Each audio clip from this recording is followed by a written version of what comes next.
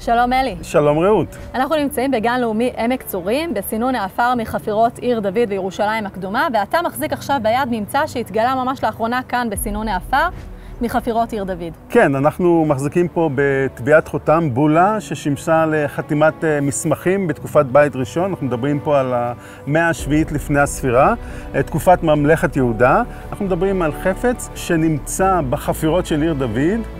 מתחת לקשת רובינסון, יש על הבול הזו כתובת, והכתובת היא לאדוניהו אשר על הבית. מה המשמעות של התפקיד הזה, אשר על הבית? אשר על הבית זה השר הבכיר ביותר בממלכת יהודה.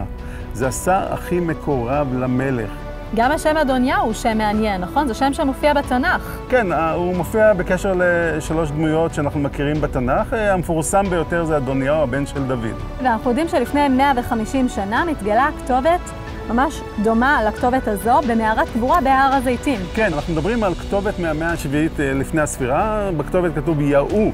כלומר, אין לנו את כל השם הוא נמחק. שנקבע, הוא נמחק, נהרס, אבל אנחנו מכירים שהתואר שלו היה אשר על הבית.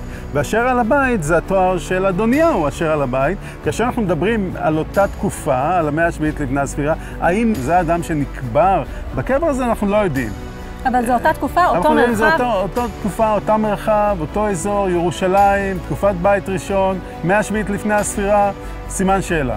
תתאר לי מה זה עושה לך עכשיו כשאתה מחזיק כזה ממצא ביד.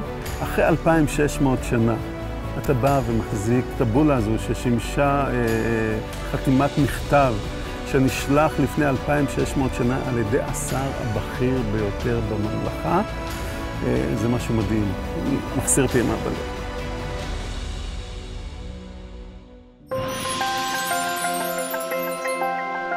עיר דוד, כאן הכל